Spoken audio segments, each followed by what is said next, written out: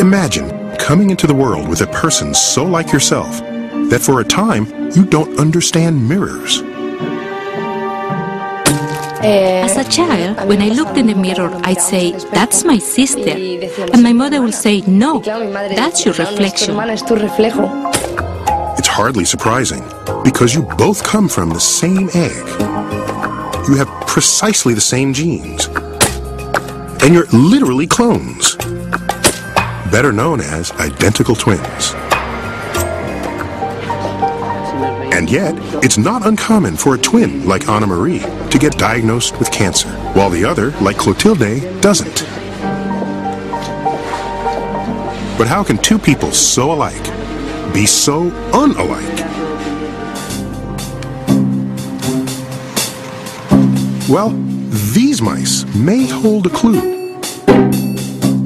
Their DNA is as identical as Anna Marie and Clotilde's despite the differences in their color and size. The human who studies them is Duke University's Randy Jirtle. So, Randy, I see here you have skinny mice and fat mice. What have you done in this lab? Well, these animals are actually genetically identical. The fat ones and the skinny ones. That's correct. This gets even more mysterious when you realize that these identical mice both have a particular gene called agouti.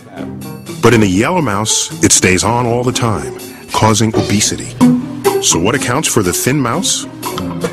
A tiny chemical tag of carbon and hydrogen called a methyl group has affixed to the agouti gene, shutting it down. Living creatures possess millions of tags like these. Some, like methyl groups, attach to genes directly, inhibiting their function. Other types grab the proteins, called histones, around which genes coil, and tighten or loosen them to control gene expression. Distinct methylation and histone patterns exist in every cell, constituting a sort of second genome, the epigenome.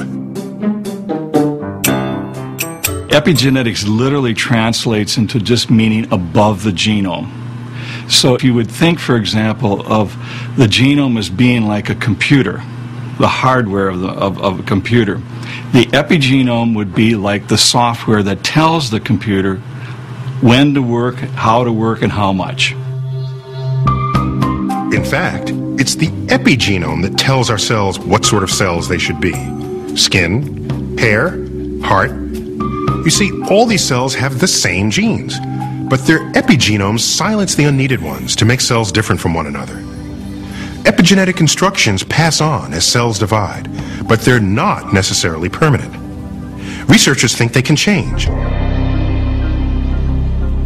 And that brings us to the reason why we're showing you twins. In 2005, they participated in a groundbreaking study in Madrid.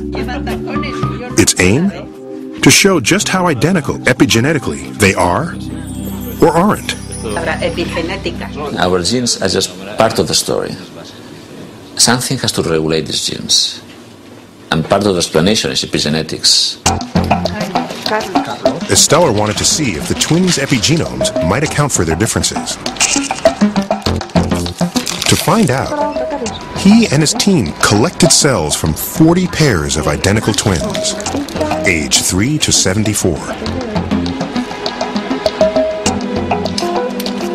Then began the laborious process of dissolving the cells until all that was left were wispy strands of DNA, the master molecule that contains our genes. Next, researchers amplified fragments of the DNA until the genes themselves became detectable. Those that had been turned off epigenetically appear as dark pink bands on the gel. Now, the genes from a pair of twins are cut out and overlapped. The results are far from subtle, especially when you compare the epigenomes of two sets of twins that differ in age. Here on the left is the overlapped DNA of six-year-old Javier and Carlos. The yellow indicates where their gene expression is identical. On the right is the DNA of 66-year-old Anna Marie and Clotilde. In contrast to the younger twins, hardly any yellow shines through. Their epigenomes have changed dramatically. The study suggests that as twins age, epigenetic differences accumulate, especially when their lifestyles differ. One of the main findings of our research is that epigenomes can change in function of what we eat, of what we smoke, of what we drink. And this is one of the key uh, difference between epigenetics and genetics.